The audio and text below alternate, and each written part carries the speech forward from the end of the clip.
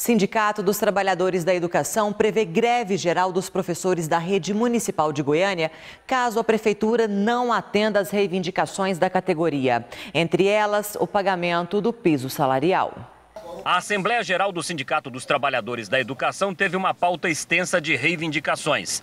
Os servidores do município de Goiânia cobram da Prefeitura o pagamento integral do piso salarial dos professores, data base dos administrativos, convocação de todos os concursados e pagamento de progressões e titularidades.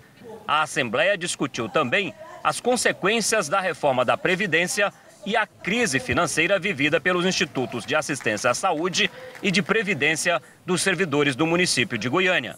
Três pontos são cruciais para a categoria: o pagamento do piso salarial aos professores, da data base aos administrativos e a convocação imediata dos concursados. Os trabalhadores não descartam uma greve geral no município a partir do mês que vem. Esses três pontos é que fazem com que, além da questão da segurança hoje no CEMEIS, da merenda escolar, que os alunos estão com fome, e tantas preocupações que nos faz ir fortalecendo o movimento e a chamada de uma greve é, inclusive, o que nós estamos trabalhando.